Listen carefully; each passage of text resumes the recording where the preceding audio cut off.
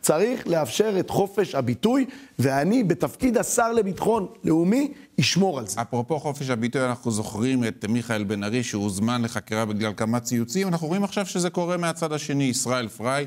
אפשר לאהוב אותו, אפשר לא לאהוב אותו, אבל אפשר להעריך את זה שהוא אומר ומביע את עמדותיו בלי לחשוש, והנה הוא נקרא לחקירה.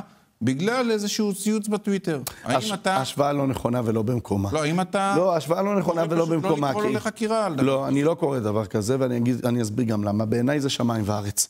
אני בעד חופש ביטוי, וגם כשאנשי שמאל כותבים עליי דברים נוראים, בסדר, אז כתבו, לא, לא, הכל בסדר, השמש תזרח גם מחר בבוקר.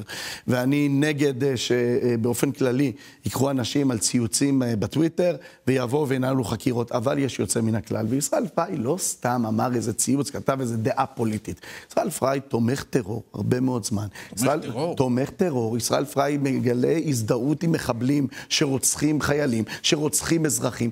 ואיך אמר בית המשפט העליון, חופש הביטוי איננה מילת קסם שפותחת כל שער. אלה דברי הנשיא ברק, הנשיא אהרן ברק, הנשיא של בית המשפט העליון בדימוס, ואני מצטרף לדברים האלה. חופש ביטוי, כן.